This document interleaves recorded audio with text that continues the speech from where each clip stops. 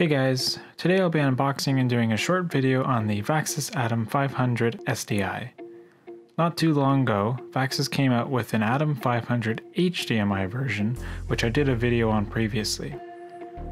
It was only time until Vaxis would release an SDI variant, and that time is now.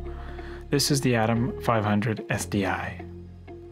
The Atom 500 SDI is a one-to-one system that has 500 feet of range, less than 80 milliseconds of latency, and iOS monitoring with hopefully Android support coming very soon. This video won't go as in-depth as my Atom 500 HDMI video where I test out the range and the latency as the HDMI and SDI versions are basically the same units and same internal specs, but they did make a few changes and upgrades to the SDI version. Unboxing the unit, you get the transmitter, you get the receiver, and a USB Type A to USB-C cable for powering the unit.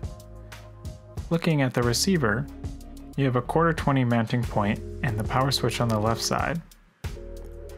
The back side has a Sony NP-F plate, which is upgraded from the HDMI version. It has a small metal piece that applies pressure to the battery so there's less chance of the battery accidentally coming off. On the right side, you have, of course, your SDI out, your HDMI out, and your USB-C power. On the transmitter, you have all the same mounting points.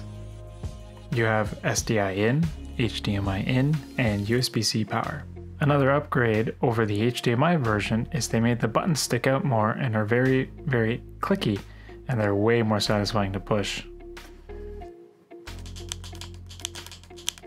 The buttons on the HDMI version are very mushy and flush with the unit, making them very hard to click, so this is a very welcomed upgrade. I was able to use the Atom 500 SDI on a corporate job where we had a Ronin with an FS7 and I was focus pulling using the 500 SDI receiver. We were in a factory running all over the place and the 500 SDI worked great with a stable image the whole two days and the minimal latency was acceptable to be pulling off a monitor. Overall, the Atom 500 SDI is a super solid lightweight one-to-one system that's a great addition to Vaxis's inexpensive wireless systems.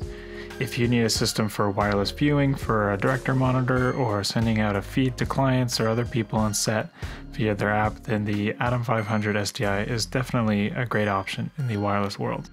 I hope you enjoyed the video.